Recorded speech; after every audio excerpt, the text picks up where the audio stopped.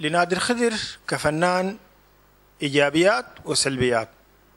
ولأن المقام هو ليس مقام إيجابيات فأنا أعتذر للصديق نادر إنه الليلة أنا ما حأتكلم عن ايجابياته أنا حأتكلم عن السلبيات اتمنى إنه هو ما يفتكر إنه أنا هو آه، إنه أنا آه، غض- غضضت النظر إنه نتكلم عن ايجابياته إيجابيات أتكلم لكن في مقام ثاني الليلة الليلة يوم النقد يا نادر. آه، اولا أنا بعتقد إنه نادر خضر فنان كسول جدا. يطلع أغنية ويمشي أنا ما عارف القصة ذاته في القصة الموضوع ده شنو.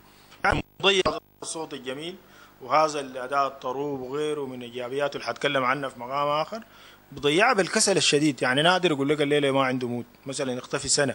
السنة دي ما عارفها بتمشي وين أو بيعمل فيها شنو. تعمل شنو يا نادر أنت في السنة دي؟ السنة اللي بتكون إجازة دي. الصوت الجميل في العالم كله ما أضحى هو الفنان هو الذي يمتلك صوت جميل بس يعني. المسألة بقت بتحتاج لميراث والتنافس ذاته في الساحة أصبح تنافس كبير جدا يعني. يعني هسه نادر منافسينه انهزم. ناس فرفور ديل عندهم طاقة جبارة يظهروا في النيل الأزرق بيجاي بعد شوية يمشي الشروق تاني يجوا في هارموني يمشي زو بيطوفوا في كل القنوات وبيشاركوا في الحفلات بيمشوا المهرجانات. نادر كسلان نادر ما حتى آخر مرة عرفت إنه اعتذر عن المشاركة في مهرجان الأوبرا. ما دار يمشي. المهرجانات ما دار يشارك فيها. التلفزيونات مشاركته شحيحة جدا. الصحافة حواراته بقلت. طيب ده فنان شنو ده؟ دي حاجة غريبة دي. المسألة والله بتستدعي التساؤل يعني وبتستدعي الوقفة مع النفس. إنه نادر المفروض يمشي يقف مع نفسه يعني. ثاني حاجة نادر في أغنياته ذاتها مركز على ستايل واحد بس يعني. وشعراء معينين يعني. أنا ما دار أذكر أسامي لكن نادر ما متوسع في تعامله مع الشعراء يعني. ومضيع موهبته دي في مجاملاته. حتى في اختياراته للأغاني في غيرها في نائب أغنيات. أصلا الجمهور لا يحفظ إلا أغنيات معينة لنادر خضر يعني أغنية أو أغنيتين. بسنينه الطويلة في الوسط دي أنا أعتقد إنه نادر على الأقل كان المفروض إنه تكون عنده عشر أغاني في الذاكرة ذاكرة المستمع السوداني وذاكرة الجمهور السوداني. غير كده نادر لا يوثق. يعني ما عنده كسد فنان بمستوى نادر خضر لا عنده كسد لا يوجد له كسد السوق لياس. لو أخذنا محمود عبد العزيز عنده عشرات الشرايط يعني والكسد بغض النظر إنه الناس تكلموا عن مستواه الفني أو غيره المهم هو وثق توثيق. نادر ما عنده أي توثيق مسموع حتى الآن وهذه كارثة في اعتقادي يعني. إنه أنا بدعو نادر خضر إنه ينقذ نفسه إنه نادر هسه على شفا حفرة يعني هو خلاص قرب يقع أنا بشوف إنه المفروض ينقذ نفسه يقعد مع نفسه ويضرب حساباته دي ويطلع أوراقه القديمة عنه فلس. تاجر لما يفلس بيطلع أوراقه القديمة طلع أوراقه القديمة يطلع أوراقه القديمة عشان ينقذ نفسه. أنا اعتقادي إن هذا الصوت يحتاج لانغاذ ده دورنا كصحفيين إنه نقول له الكلام ده. حتى بقول له أسمع كلام اللي بيبكيك ما تسمع كلام اللي بيضحكك. أسمع كلام بيبكيك ما تسمع كلام بيضحكك. من سرد وإفادة أخونا الأستاذ طارق شريف واضح إنه أنت بتعرفوا بعض كويس وبيناتكم وبينكم. معرفة وثيقة وهو بيتكلم عنك كصديق وكده. آه، أنا أنا بحييه بحترم وجهه نظره جدا فيما يختص بأنه أنا كسول ما قدمت غنى قريب. بتتفق معه؟ أتفق معه تماما. ده يعني انتزعنا احتراف أول عبر أيوة. محطة خارجية من أتفق الزمن طارق انه شريف. أيوه أتفق بانه في الفترة الأخيرة يمكن في السنة الأخيرة أو في السنتين الأخيرات ها قد لا يكون في يعني آه، آه، هو طبعا دائما أنتم معاييركم الصحفيين ده للحفلات العامة والتواجد في حتات في المهرجانات. وهسه هو يعني رغم إنه آه، الحتة القالة بتاعت الكسل في عدم التجديد دي قد يكون يعني لحد ما صحيحة. أما الحتة بتاعت إنه المهرجانات واعتذار طبعا قبل شوية كان قابلت معكم هنا دكتور الجبالي اللي هو كان اتصل بي بخصوص حفل في الأوبرا وأنا رحبت على الفكرة بدون أي شروط. نثق تماما في إفادتك بدون أي شروط وكان مفروض البرنامج ده يتم في شهر سبعة. أنا كان عندي ظرف خاص بي كان لازم تكون متواجد في القاهرة في الفترة دي ها؟ بالإضافة لموضوع المهرجان ده. أنا كان قبليها بشهر مشيت أثيوبيا مع وفد من وزارة الثقافة الولاية و جيت من من أثيوبيا على أساس إنه أنا حامشي شهر سبعة أصلا أنا حامشي القاهرة وأقوم بإحياء الحفل ده. فوجئت من آه، اتصلت بدكتور الجبالي في القاهره ورد إنه البرنامج قايم في مواعيده وواصلوا معه الصديق ال- أخي الحبيب محمد أمين في القاهرة وبحييه عبر هارموني وهو من الناس المحبين جدا لقناة هارموني. كيفك يا دبل؟ تمام؟ دبل دي شنو؟ ده ال- اسم الشهرة بتاع محمد ده. اسمه شهرة يعني ما مصطلح شبابي. لا تابع للموضة لا لا هو بس. راجي شوية بصحة يعني. ما شاء الله يديم عليه اللهم آمين. هاي. فاتصل بدكتور الجبالي أكثر من مرة ودكتور الجبالي كان حضور وأتمنى إنه أنتم تسألوه. فما كان في أي تقصير من جانبي لعدم المشاركة في مهرجان الأوبرا. يعني المعلومة اللي انت ظروف خاصة بهم هن لا أدري. وهسه قبل شوية دكتور الجبالي وموجود بحضور أستاذنا الجعيلي قال لي يا أخي ما زال الاتفاق. ما الوقت ما ما سمح لنا لأنه خشينا على الاستوديو. لكن بيقول لي حنجي وحنعمل البرنامج تاني والمهرجان وغيره. وإلى ذلك الحين آه، بحيي الأخ طارق شريف. في أما الجزئية دي يا طارق يعني ما تحمل علي. يعني انت اتفقت معه في الكسل واختلفت معه في معلومة إنه أنت ما احتزرت لكن في ظروف ما في أنا ما في مهرجان دعيت له أصلا يعني. طيب كويس. يعني دعيت له أكثر من مرة للمشاركة مر مرتين في طيب وقال إنه الفنانين الشباب وضرب مثل بجمال فرفور وغيره إنه بيمتلكوا طاقة جبارة وموجودين متواجدين اعلاميا متواجدين على الساحة الفنية. وقال إنه أنت للأسف الشديد غايب.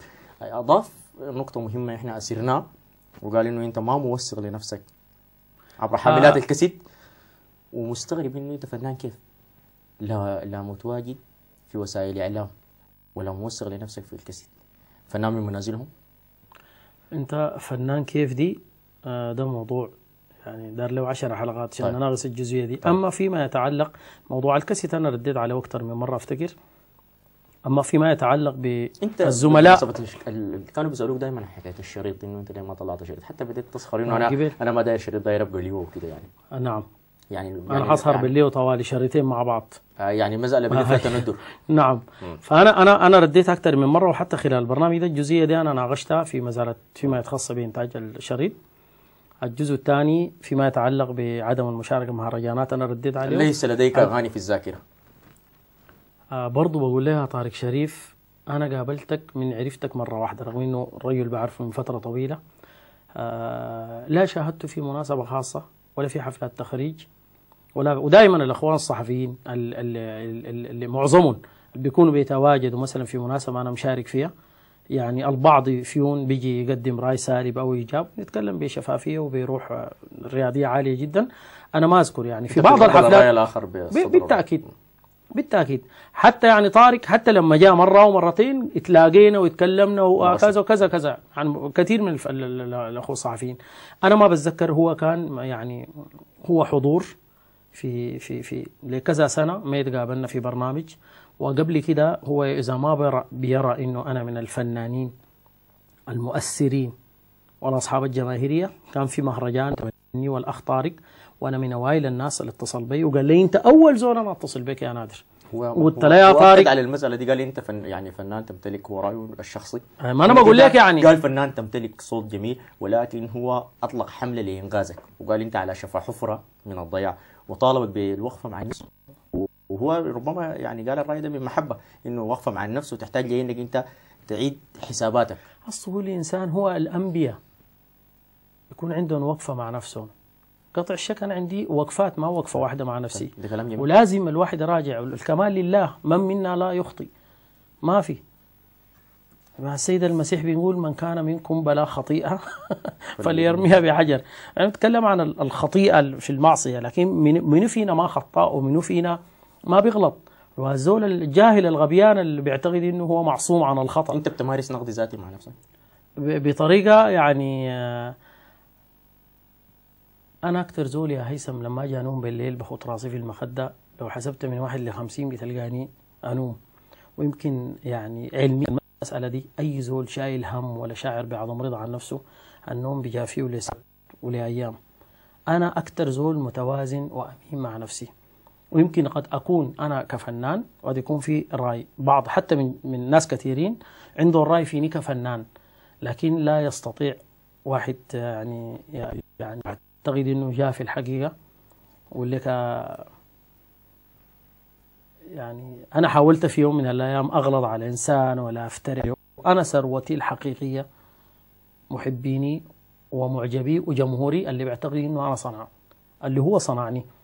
بعض الناس يقول هو اللي صنع الجمهور ده. أنا بعتقد الجمهور ده هو التواني الفضل الكبير عليه. هو جمهورك صنعك لكن أنت ما قدمت له حاجة بدليل إنه حتى بخلت عليه بشيء. ما أنتم بتتكلموا عن التقديم فيما يتعلق بحتة نقطة واحدة. أنت عاوز تتواصل دوروا؟ في فلكة حتة التوثيق. وأنا رديت لك عليها فيما يتعلق ب ب ب ب ب بإنتاجي ده جمهوري اللي بيتواصل حفلاتي دي أنا.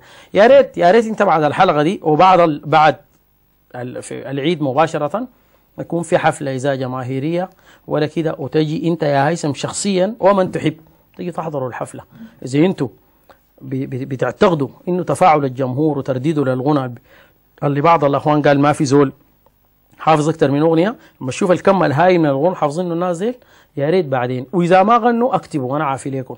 واذا قالوا أرجو إنكم تكونوا امينين وتكتبوا الكلام ده في عوا... في في صحفكم. أنت اغانيك راسخة يعني في الأذهان والوجدان في لمحبيني والناس اللي بيحضروا حفلاتنا راسخة بلا شك.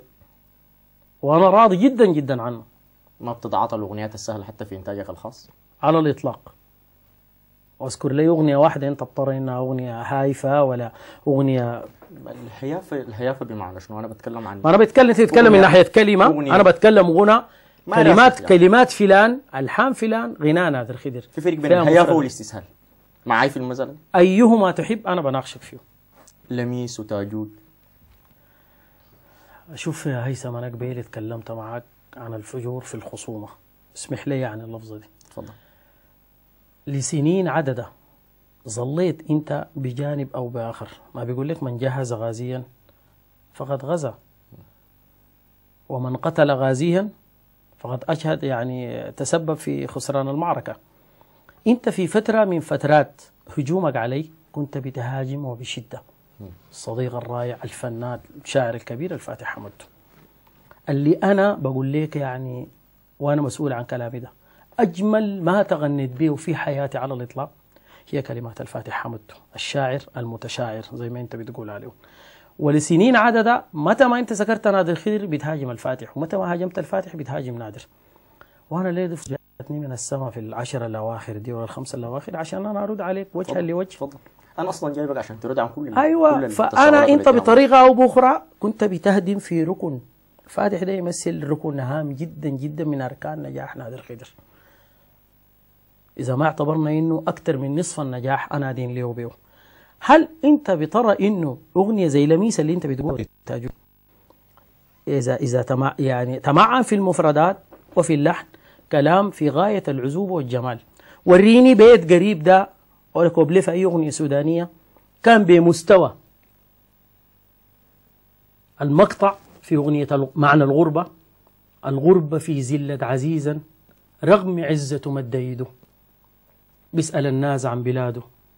يا حليل بلد البريد يا حليل الدنيا كانت جنة للناس البريد وأصبحت ركس السلالم. للفوق نشاف. وريني أعطوا مقطع. بيداني روعة. الغربة في الموية اللي بتجري. وتسأل الناس عن ضفافة تدفر الخير المهاجر. والنفوس راضية بكفافة. الغربة في البت اللي بتنزل. دمع في ليل الزفاف تعرف يا في أستاذ ولد حيران بيسأل عن وطن راقي ومعافى تعرف يا أنا ما تعرف- بعرف، تعرف يا. أستاذ نادر ربما أنت تقرا ما ما يكتب ولكنك لا تقف عندما يكتب بين السطور يا لا لا وريني أنا طوالي شنو قريته أنت ما حصل يا طيب، هيثم طيب. طيلة تاريخك الصحفي تعريفك للأغنية تعريفك للأغنية شنو؟ أنت. كمغني بتمثل جيل تعريفك للأغنية شنو؟ الأغنية هي شوف دي أحاسيس ومشاعر دي ما سياسة. ده رأيك أنت. منو معاي والحلف؟ نعم رأيك. شنو طيب. الأغنية؟ ما إحساس. طيب. الأغنية لما يقول شاعر تخاطب إحساسي أنا وأنا أعيشه وأتغنى بها وألقى في تفاعل معاه من من من من من, من, الجمهور. دي دي دي دي غمية المعايير والنجاح بتاع الأغنية. كويس. ال... بتح... بتتفق معي إنه الأغاني هي وثائق للتاريخ الاجتماعي حتى السياسي. نعم. طيب. لمين نعم. مناسبات الأغاني دي شنو؟ يعني أنت ديل الاثنين هم يعني ربنا يحفظهم ديل بنات الأستاذ. نعم. والأستاذ نعم. الفاتح حمد نعم. في كتب كل في كل زواجه. في كل زفاف أي. واحدة من بناته. وأنا أي. كتبت كالاتي أي. المعلومة استمديتها من كلامك. نعم. انت في يعني بتقول انه في لقاء تلفزيوني انه والله يا أهل اغنيه لميس كتبها الاستاذ الفاتح حمدتو في نعم. في زفاف نعم ابنته نعم أغنية تاجوج كتبها الفاتح حمدتو في زفاف ابنته نعم. كتبتها بالحرف الواحد أي. إنه يعني زواج أي من بنات الفاتح حمدتو يعني ميلاد أغنية جديدة لنادي يا ريت يا ريت. أنا كنت أتمنى الفاتح ده يكون عنده 100 بت عشان في كل واحدة يكتب أغنية masterpiece بس أنت كل كل يعني. يعني كف- أنا مناسبات أتكلم عن نفسي. يعني انت ما هي الأغنية دي أصلا؟ ما حالة. وجدانية. كل ما هو كل الأغاني اللي قيلت في مناسبات. ليه لما كتب آه، الجاغريو لاحمد المصطفى يا حبيبي أنا فرحان وفرحان بيك يا ريت يدوم هنانا في زواجه.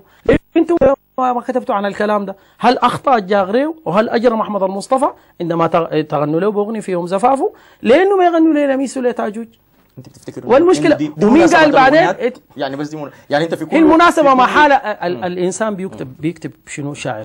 ما حاله وجدانية. عن الكلمة ولا عن المناسبة هنا؟ أنا بت... أنا بتكلم الكلمة دي نخليها. أنت تناولت المناسبة. مم. أنا بسألك عن انهم الاثنين مع بعض أيوه كلام جميل؟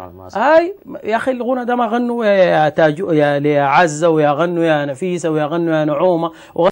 الأغنية دي كان ممكن يكون من غير ما يذكر اسم لميس أو تاجوج رغم إنه أضافت لون الغ والله ما جميلة. تتفق معي إنه البون شاسع ما بين مفاهيم نادي الخدر وأغنياته. على الإطلاق. على الإطلاق.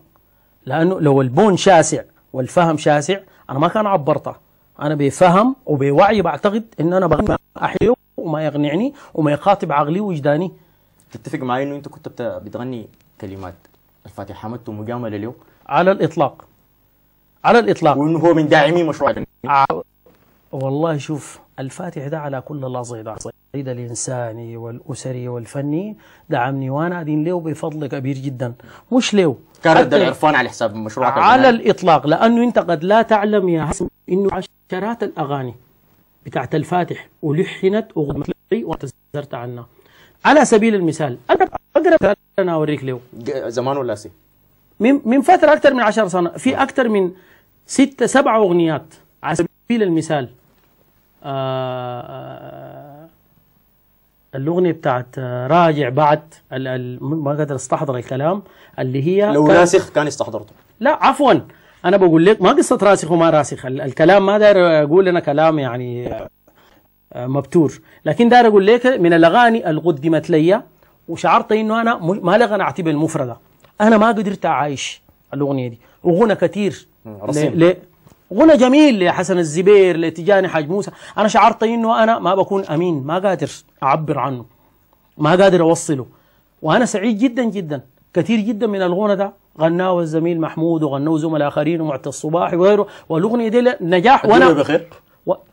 يا أخي الدنيا بخير دي. ده مشروع بتاع بتاع بتاع بتاع مدرسة بتاع التفاؤل. في شنو أجمل. وده أكثر ما يميز شعر الفاتح حمدته إنه دائما نهاياته سعيدة. وده ان دعا الدنيا بخير لل- للما متابعين إنه هي واحدة من دي اغنيه أنا مثلت بها السودان في مهرجان الاغنيه العربية ولحنتها أنا. فدي- حققت فشل ذريع في المهرجان لا ما. ح... ول- ولماذا حققت؟ هل كل تاريخ الغنى السوداني اللي شاركوا به وغنى ليه ما تناولتوا فشل الأغنيات الأخريات؟ وليه الدنيا دي؟ وبعدين أصلا أنا يعني أنا مشيت ال- المهرجان ده بالذات من دون المهرجانات. إذا أنت تابعته إذا قريت نتائجه مهرجان الأغنية العربية بالأردن؟ نعم أنا مثلت السودان في مهرجان الأغنية الأغنية العربية في عمان.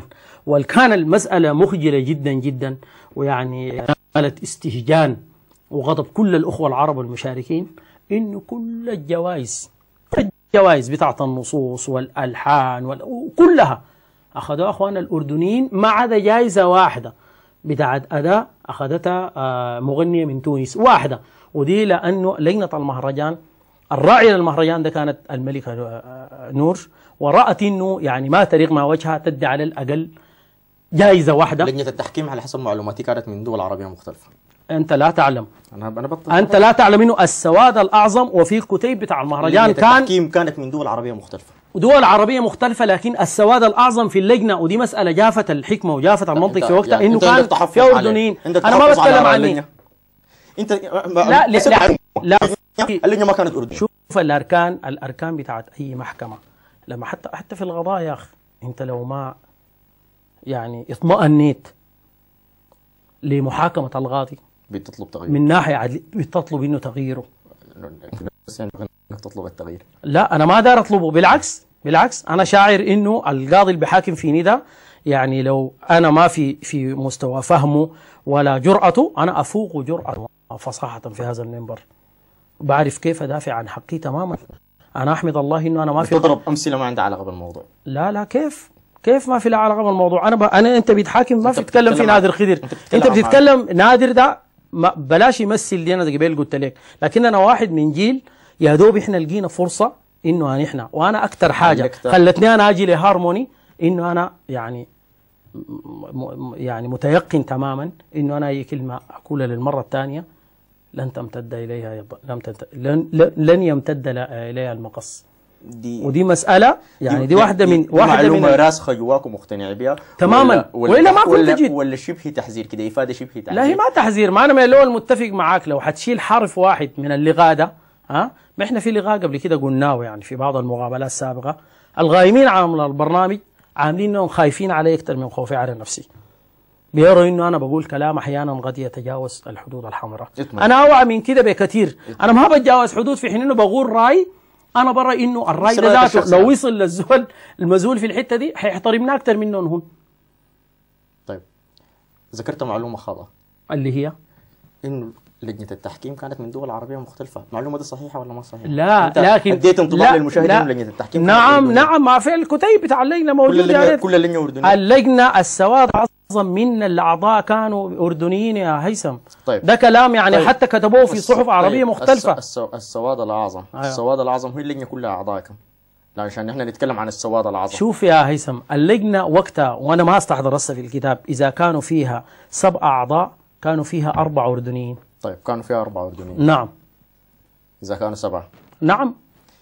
جاءت اسرار بابكر وشاركت من بعدكم بعام وبعامين نعم، نعم. وكانت كفارة حقيقية لضعف مشاركاتكم الفنية. والله يا أخي أسرار دي تعرف واحدة من الفنانات الرائعات اللي ما أنا أسمع ذاتي.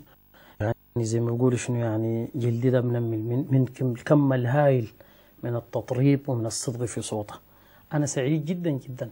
تحقيق نجاح لزميل أو زميلة لم استطيع أن أحققه لا يبخس من من يعني نجاحه على الإطلاق. ض- إضافة للسودان. يعني فخر للسودان وفخر لنا إحنا إنه في ناس زي ما أنا بقول في النا- الناس تقاتل. ما مهم أنا بصارع في منه. إذا أنا مؤمن بقضية حنتصر في الآخر. نجاح الأخت أسرار وأنا بحييها عبر هارموني لا يقلل من قدر مشاركاتي ومشاركات زملاء اخرين قبل أسرار وبعد أسرار. ولا يعني على الإطلاق إنه المشاركة بتاعت الأجيال اللي بتجي مع أسرار معناه كلهم فاشلين. أنت زي كده الكورة. إحنا أنت زي بنقضي لعيبة الكورة. طوالي علقت فشلك في التحكيم؟ لا على الإطلاق. لا اطلاقا ما كده. لكن ليه؟ وإنتوا بقى- إنتوا تعالوا. إنتوا بس بقد على الناس اللي شاركوا في المهرجانات العربية. وين العمالقة بتاعنا؟ الف- الغنى السوداني ده ورونا حققوا وين حققوا وين مشاركات وحققوا وين إنجازات؟ في نفس وجابوا لي في نفس المهرجان ما في غير شارك. أبو, أبو أبو عرك عرك البخيل. بخف. نعم. أبو عرك البخيل. واحد. ده واحد من العلامات الفارغه في في عالم الغنى السوداني. المسألة لكن اللون بتاعنا يعني من بعد بلاش نخش إنه ده خماسي وده سباعي لأنه اسرار فازت لكن لا يعني على الإطلاق. إنه الفوز بتاع يا أخي الغنى السوداني ده عشان يخاطب ذاته يدانا ناس بعدين هي فازت ب ب ب ب ب بالتوزيع مظبوط؟ يعني اسرار؟ أسرار فازت أفتكر اجمل لحن أو حاجة زي دي. أنت عارف المعلومة طبعا شنو؟ طبعا اللي هي شنو؟ أنا بس حابب إنه عارف أنت رأيك. إن لا أنا بعتبر ده نجاح. هي فازت بشنو؟ أنا بعتبر إنه نجاح. عشان ما تبني وجهة نظر. أنت هي فازت هي فازت بال... لحن أفتكر. بالنص. اجمل أجمل لحن. أجمل نص وأجمل لحن. أجمل لحن؟ أجمل نص وأجمل لحن. أجمل لحن. طبيعة الب... طبيعة آه. المهرجان آه. إنه في جائزة لأجمل نص وجائزة لأجمل لحن وجائزة لأجمل أداء وفي جائزة لأجمل أغنية متكاملة نعم. لميكروفون ذهبي. طبعا. ودي عمرها ما في يعني لن يغامر. كل اللجان العربي في وقت قريب ما أعتقد إنه حيكون من نصيبنا. أتمنى والله إنه أن إحنا إحنا ما بنشكك ابدا في حيادية اللجان. أنا كنت والله أنا أشكك. في في البلاد العربية أنا أشكك. أنا حضرت دورة في آه. في, في سوريا آه. لمهرجان الاغنيه العربية. وفازت أنت بها- ما بتشكك، أنا فازت بشكك. فازت بالميكروفون الذهبي. أنا بشكك لأنه المغنية أنا- ولا, ولا حمدي من مصر. أنا بقول لك آه، على فكرة هم. ادوا يلا قاموا أدوا أحسن توزيع للمصريين وادوا آه، أحسن لحن للتوانسة. مظبوط. دي ثقافه ما لازم دي ثقافة لعيبة الكورة. لا لا لا لا. لازم ارضاء إرضاء الشقيقة الزعيمة مصر لازم. لا لا يستطيعوا. لا يستطيعوا في مهرجانات فيها كذا جائزة إنه مصر, ما مصر تنال. شقيقة مصر. ام الدنيا. نعم ما في كلام. لازم. لكن ما في مجاملة وما في محاباة في المهرجان. أنا أنا أنا سمعت أنا أنا كمتلقي أنا سمعت في في ألحان في نصوص في ناس غنوا معانا في في في في في في, في نفس ال- المهرجان ده ها؟ ويشهد الله إنه في الجوائز اللي مشت لبعض بقيه ال- ال- ال- الأغنيات. الثانية الاردنيه كانت أجمل. رأيك لا يمثل رأي بعدين ما كويس هو في. مصداقيته يا سيدي هو في بيتشكل لجان بي- بي- بي- بيحددوا حياة زول إنه يعيش ولا يموت. خليك من اللحن ما هي لجان في الآخر. أنا بقول لك إنه ال- المهرجان ده كان التحكيم فيه ما فير في جوانب كثيرة جدا. ما رايي أنت شو أنت شفت أنت شفت شريط المهرجان ده لما عرض؟ شفت الاغنيه أنت؟ إذا المقياس هو لجنة وتفاعل الجمهور لو في يعني مش عارف أقول لك يعني جيب لنا مقياس زي مقياس ريختر كده. عشان يشوفوا علو الصفقة. لما قدمنا أنت- نحن. ويشهد معي الآن الأستاذ سعد الطيب اللي كان حضور معي وهو قام بتوزيع العمل. انت عارف شروط المهرجان؟ كيف ما عارف شروطه طيب انت عارف شروط المهرجان إنه في النهاية أنت لما سافرت من هنا مش عارف إنه الرأي بلجنه التحكيم وما لصفقة الجمهور؟ لجنة الت- يا هيثم أنت بتتكلم كيف؟ الجمهور ده معامل مهم جدا جدا. ما ده استفتاء. ده بالنسبة لك. ده بالنسبة لك. كيف بالنسبة لك؟ تكون آه، غد غد الإنسان ده ذاته الإنسان ده ذاته. قد يكون ما ناضج الجمهور الموجود ما ناضج ما ناضج فنيا. قد يكون ما ناضج فنيا الجمهور. أنا بغني له أغنية بيسلم مغايرة للسمع قد يكون الجمهور مثلا من الجالية السودانية. فمثلا حضور- يجي يشجع حضور ضئيل وضعيف جدا. ويحفزه باعتبار إنه فنان سوداني. يا سيدي هل حضور- ده معناه إنه الحضور كان ضعيف. والشيء المؤلم الميكروفون الذهبي. شوف الشيء المؤلم على ذكر القصة كده لأنه الساكت عن قول الحق شيطان أخرس. المشاركة دي ذاتها؟ يعني كويس يعني في قبن سابق كده كويس. أنا الأوان الواحد يقوله في في الحتة دي. حتى المشاركة دي ذات الشيء المؤلم جدا. إنه لولا وجود الأستاذ حسن فضل المولى. في ذلك الوقت كان مدير كان نائب مدير التلفزيون ومدير البرامج. لولا وجوده لما شارك السودان على الإطلاق أصلا بأغنية. التقصير الت- ال- يعني الصاحب على المستوى الرسمي من هنا يا أخي أنت بتتخيل ما يا كنت أول مغني يشارك في في المهرجان. لا لا طبعا. أنا شارك بتكلم قبلك مغني. أي أنا ما, ما أنا بتكلم عن غصوب عشان يعني وضع النقاط فوق الحروف. هل تعلم أنه أنا أسبوع متتالي؟ على يعني سبعة أيام أنا بتواجد في أروقة التلفزيون عشان أعرف التذكرة حتطلع 200 وأنا بكل فخر أنا أول من ناضلت وأول من قاتلت وأرسيت مبدأ إنه لازم الفنان أمشي معاه موسيقي متخصص. أنا ماشي أنا أنا غير دارس لعلم الموسيقى ما غير. موزع. معلومة ما حقيقيه.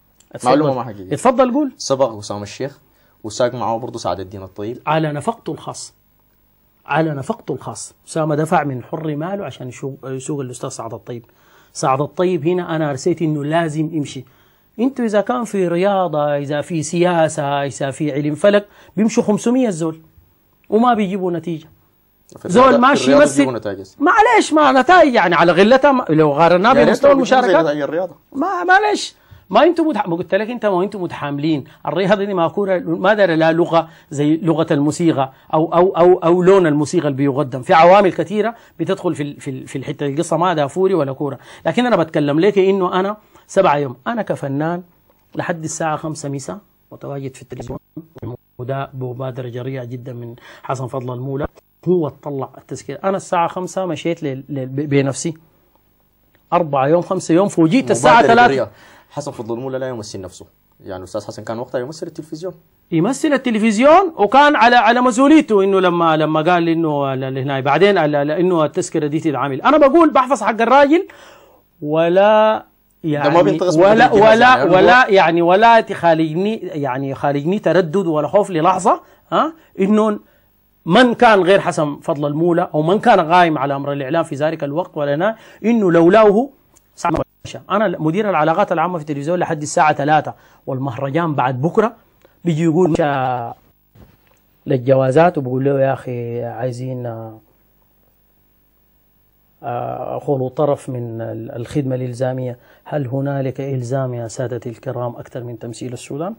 أنت بتبرر هل- لفشلك مثلا أنا لا أنا ما ببرر أنا أنا بملك الناس التاني الناس توعى انت انت بتحاول أنا ما بتكلم. أنت أفضل من يصيغ الم...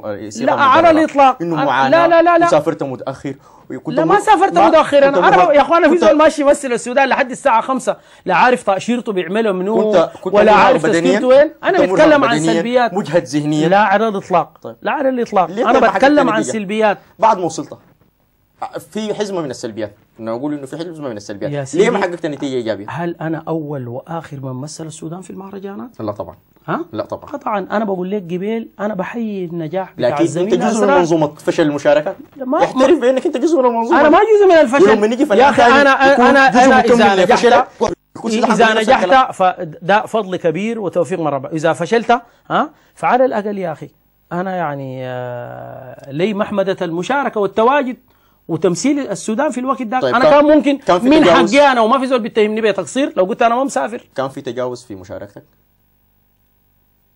تجاوز كيف؟ ما فرص زي ما زملاني أخذوا في ناس بعدي أخذوا. كان في معلومة مؤكدة بتقول إنه واحدة من شروط المهرجان إنه المغني اللي بيشارك يكون دون سن ال 35 عام. طيب. ودي دي, دي هسه ودي دي حتأثر بشنو يعني لو 35 أو غيره؟ المشكلة شنو؟ ما في ناس ما مشوا مثلوا دون ال 25 المساله يعني كان سبب الفشل. آه، 25 أنا مشيت ألعاب قوة ولا مشيت ماراثون أنا ولا مشيت ده ملاكمه شرط ده شرط من شروط المهرجان. وهل بيغيبوا بتعزي؟ اتحاد إذاعات الدول العربية. وهل أنت بتعزي إنه إذا أنا ما كنت متوفر لي شرط عامل السن هل ده له علاقة في أدائي ولا ولا مشاركتي في في الحلقة أنا بتكلم عن الخرق. أنا خرقي ده أنا زول ناس رأت إنه أنا في المهرجان ده أنا واحد من الناس يعني ال ال ال ال اللجنة أو الناس اللي اختاروا أنا خير من يمثل السودان في في في, في هذا المهرجان. غيروا انت اطلعت على الكتيب.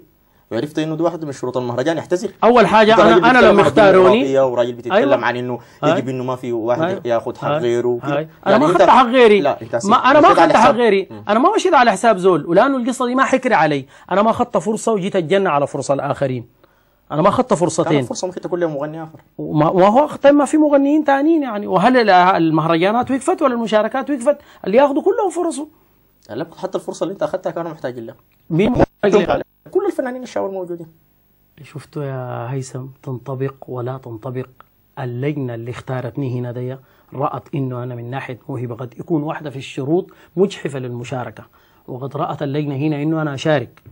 ودي مسألة ما عندك ما- معلومات ما- لو كانت اللجنة يعني عرفت المعلومة بتاعت إنه المغني متجاوز السن القانونية للمشاركة كان لغت مشاركتك؟ ممكن. نسبة التوتر في دمك كم في المية؟ يعني يمكن تكون واحد ونص في المية كده. واحد ونص في في المية؟ أسوأ حالاتي. يا- وغير كده ناقص واحد ونص في المية في أحسن حالاتي. الليلة كانت كم معنا؟ يعني الليلة قد يعني قدري ما حاولت أنت يا هيثم تسيرني وتخش معي في حتة كده أنا إطلاقا ما نجحت في إنك توترني في حاجة. ده رأيك الشخصي. أيوه. الرأي النهائي يظل المشاهد لكن يجب علي أن أشكرك على جرأتك. وعلى قبولك للجلوس على كرسي محاكمة و اللي كانت مزعجة؟ والله ما مزعجة. ما أنا قلت لك داير لي فرصة فيك يا هيثم من زمان أنا لقيت الفرصة ولقيتها في أحسن. يعني لقيت ولقيت. مش لقيتها أنا هاجمتك. أنت دعيتني وأنا جيت وديتني فرصة يعني. جاوبتك؟ يعني أنا أنا أنا سعيد جدا والله الليلة أطيل على الجمهور من خلال هارموني. وشكرا لك كثير. أنت يعني برضو طرحت آه لو ما سألتني ليها كان نفسي تزاني ليها وما كنت حاس أكون سعيد بمستوى سعادتي هسه لأنه دي تساؤلات وطرح قد تكون ألغت جانب ولو بسيط عن شخصية نادر خضر الما مغني أو ما فنان. جانب نادر كثير. الإنسان يعني. وريت آه، أتمنى إنه أنا أكون آه، آه، وفقت يعني في يا ريت لو في أكثر من نقطة تستحق مما طرح في الحلقة تستحق أن تغف عندها. أن تغف عن عندها مستقبلا. إن شاء الله. شكرا جزيلا نادر خضر شكرا جزيلا عزم شكرا جزيلا أعزائي المشاهدين وإلى أن نلتقي في حلقة جديدة من محاكمة.